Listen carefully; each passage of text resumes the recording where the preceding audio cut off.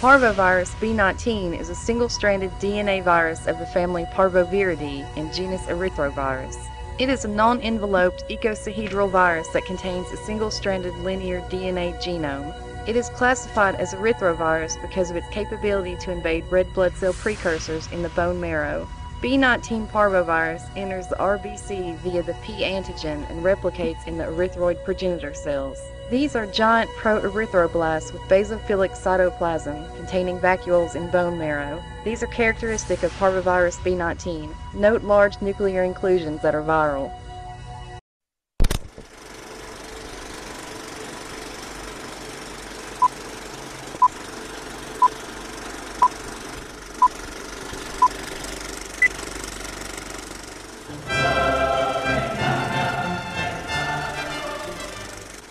London in 1975, Yvonne Cossart and her colleagues discovered the first parvovirus pathogenic to humans, parvovirus B19. It was discovered while screening normal blood bank donor sera for the hepatitis antigen. B19 came from the patient code of one of the remic blood bank donors. The sample was in well B19 of a microtiter plate. Parvovirus forms that are pathogenic to animals were previously discovered.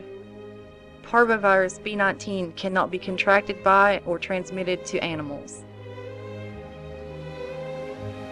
Parvovirus is also known as fifth disease because it was fifth among the common childhood diseases characterized by rash. Parvovirus B19 is primarily spread through respiratory secretions such as saliva, sputum, and nasal mucus. It can also be spread transplacentally with an estimated risk of 30% among non-immune women infected with parvovirus B19. It is also spread by blood and blood products and nosocomial infections.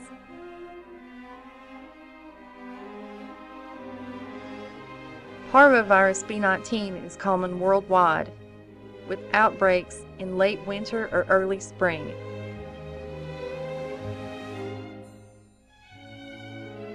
There is no difference between females and males with the rate of infections, but females are more likely to develop post-infectious arthritis.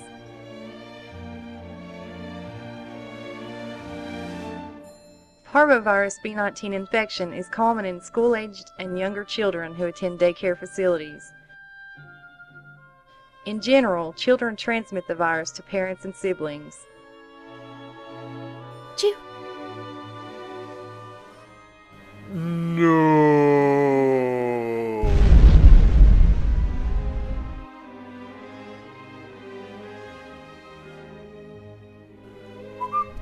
About 50% of adults are exposed as children or adolescents and have protective antibodies. Because primary infection may be asymptomatic for adults, they may have been exposed without being aware. A significant increase in the number of cases is seen every three to four years. The last epidemic year was 1998. Parvovirus B19 has a low mortality rate for most adults and children, but there are greater risks for fetuses and immunocompromised persons. The incubation period is typically 4 to 14 days. The first symptoms are fever, runny nose, and headache. This most contagious time is when it feels like just a flu. After several days, you may get a slapped cheek rash on your face. This is more common in children. This is considered a hallmark indicator for the disease. Once this rash appears, you are considered no longer contagious.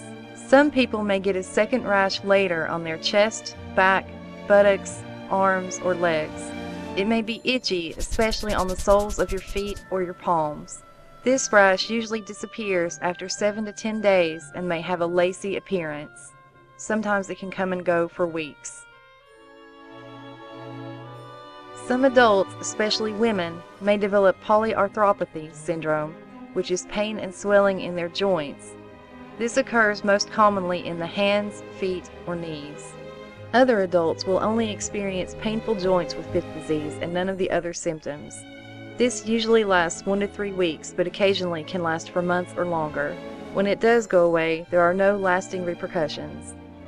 Complications with pregnant women and their fetuses can occur with the highest risk being during epidemics and following exposure to infected children. Infection is estimated at 1 in every 400 pregnancies. An estimated 50% of pregnant women are immune to parvovirus B19.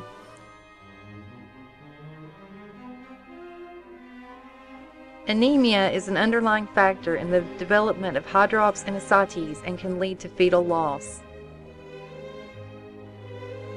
Non-immune hydrops fetalis is the most common form of hydrops. It is caused by severe anemia it occurs two to four weeks after maternal infection. It has a risk of 10% following infection. 10% of parvovirus B19 infections during pregnancy are associated with fetal loss. This usually occurs during the second trimester. The death of the fetus is usually 4 to 6 weeks after the infection, but can be as far as 12 weeks after infection. Most pregnant women are asymptomatic with possible exanthem and arthralgia. Mothers who are immune to fifth disease do not have to worry. Persons with severe combined immunodeficiency syndrome, acquired immunodeficiency syndrome, and patients receiving immunosuppressive therapy, i.e. post-organ transplant, can develop chronic anemia. The identification of parvovirus inclusions in marrow biopsies and the confirmation of infection by in situ hybridization is important in assessing anemia in immunodeficient patients. Screening patients for their B19 antibody status will identify a patient at risk of infection. If IgM is detected, the test result shows that you have had or currently have a recent infection. If IgG is present, immunity is indicated. If both IgG and IgM antibodies are absent, you are at risk of becoming infected. There are a variety of diagnostic assays available to detect IgM and IgG in serum.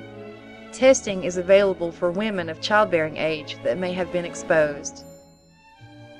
IgM is shown in 90% of patients two weeks after infection. IgM peaks at 30 days after infection and may last up to four months. IgG antibodies start to appear after three to four weeks and usually persist for life. When doing a fetal blood sampling from a positive patient, a reticulocyte count that is high means marrow-aplasia is resolving and hydrops should resolve on its own. If hydrops develops, intrauterine blood transfusion using cordocentesis may be used. A low reticulocyte count with severely anemic fetus may need an immediate transfusion. High titer intravenous immunoglobulin has been a reported effective treatment. Ultrasounds should be performed every two weeks with patient monitoring. Most of the time the disease is mild and will go away on its own. Treatments usually involve treating the symptoms such as the itching, joint pain, fever, and swelling. People with severe anemia may need to be hospitalized and receive blood transfusions. Those with weakened immune systems may receive antibodies via immune globulin injections to treat the infection. They are currently working on a vaccine for parvovirus B19, but as of now there are no drugs or vaccinations that will prevent the disease. If you do acquire the disease, you will have lifelong immunity. CDC recommends the following steps to avoid the spread of parvovirus B19. Wash your hands often with soap and water. Cover your mouth and nose when you cough or sneeze. Do not touch your eyes, nose, or mouth. Avoid close contact with people who are sick. Stay home when you are sick.